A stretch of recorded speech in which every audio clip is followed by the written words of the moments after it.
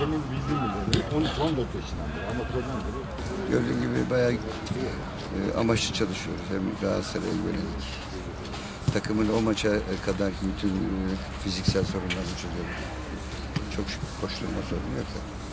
Taktiksel anlamda e, ufak tefek değişikliklere gittik. Sanırım Galatasaray maçına takım hem taktiksel anlamda hem de fiziksel anlamda hem de psikolojik olarak aramızda konuşuyoruz. Bütün personelle toplantı yaptım.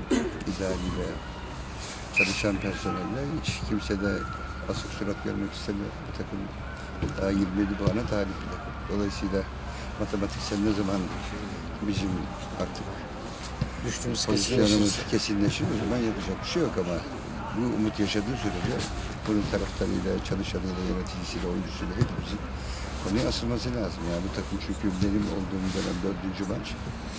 Akisar maçını bir kenara koyarsak diğer üç maçının üçünü de kazanabilirdi. Niye olmasın yani? Niye dönmesin? Bu o gücü var tabii. Dolayısıyla inşallah Galatasaray maçı bir 12 maçlık aradan sonra bizim için iyi bir başlangıç olur. E şimdi tabii kamuoyuna bakıldığında maçın lideri, e, favorisi Galatasaray takımı. Kağıt üzerinde bakıldığında lig lideri 50 küsur puan var. 18 puanlı ligden avarajla sonlar ikinci takımla oynuyor. Böyle bir avantajımız da var yani biz onların gözünde buyuz yani. Ve e, futbol camiası kiminle konuşuyorsam hala Karabükspor diyor. Kesin güçlü bir takım diyemiyor. Çünkü e, biliniyor ki futbolda kesin konuşmanın kimseye bir yok. 27 puanın durduğu yerde 45 puanı da ulaşabilirsiniz. Sizi kurtaracak puanı da alabilirsiniz. Ve alamıyorsanız zaten birlikte olursunuz. Yani biz tabii hep yapabiliriz diye. O niyetle baktığımız için ve o tarzda çalıştığımız ve o tarzda bir geri dönüş gördüğümüz için böyle bir umutlu konuşmak durumundayız. Ee, ve buna gerçekten çok inanarak söylüyorum. Bir bir takım takım bu kadar hep olaylara gebe bir yer değil. İşte şimdi bakın Ömer'i çağırıyorsunuz ilk defa gelmiyor. Ve bir oyuncumuz sağdan çıkıyor gidiyor. Yani bunun Türkiye'de böyle bir şey olay çıkar. Ortalık birbirine girer. Şimdi alıştı insanlar.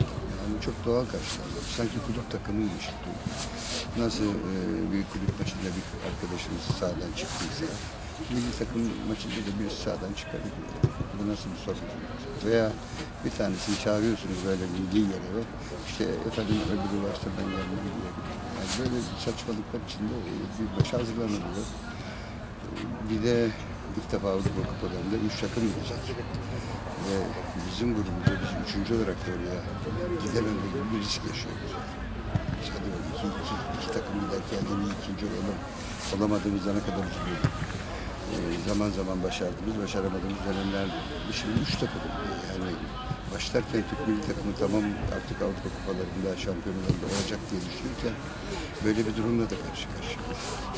Umarım inşallah en azından üç, üç, üçüncü olarak oraya gitme şansı yakalarız. Çünkü Türkiye'nin ihtiyacı var. Yani ezilmişlik kalk, kalkın bünyesine yerleşti. Yani isteniyor ki her branşta biz niye onlar var, biz yokuz. Bu sorular hiç cevap bulamıyor ve cevap bulması için de bir şey yapılıyor zaten. Kendi akışında bırak dedi gidiyor. Atlattın mı ya bunu? Atlattın diyor başka? Atlattın mı ya? Hızlı oynuyoruz yani. Ya siz kalkmışsınız.